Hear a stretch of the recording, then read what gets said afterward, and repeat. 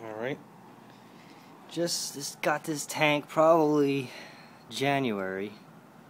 It's a five pound cylinder for CO2.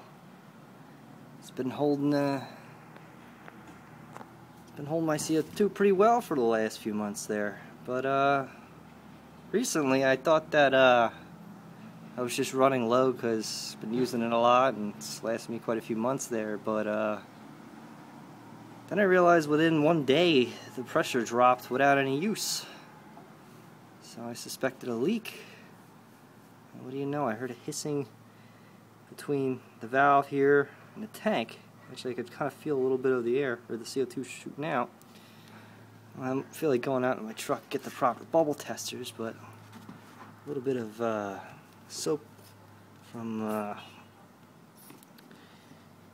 dish soap here and uh, let's just see how bad this guy is.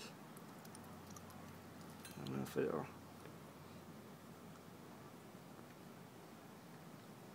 Ah, come on, focus. Ah. Yeah. That's what. There we go. Alright. There's a big one slow leak, but.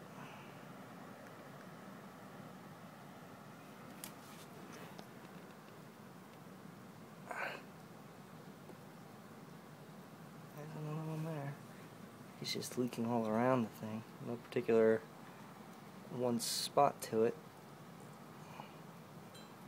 But uh it kind of pisses me off a little bit, you know. So I'm gonna see if I can exchange it another tank. I don't know this one's got a slow leak, but I don't understand how the this just starts. There's no no vibration or anything like that. You know, it's it's all the way down. It's flush with the tank. You can't tighten that anymore. You know, like I said, it was the inspection date. I don't know where it is on here. I think it's this uh, 0510. It's uh, May 10 or May 2010. Not sure, but it's definitely within its inspection dates. It's certainly going to fail its next inspection, that's for sure, unless this valve is replaced.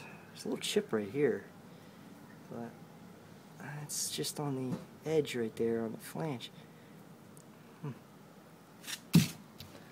Well. Adios.